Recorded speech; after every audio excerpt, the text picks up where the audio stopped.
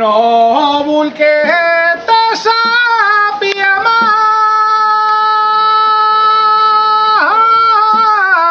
si a tompare trompellas li bien,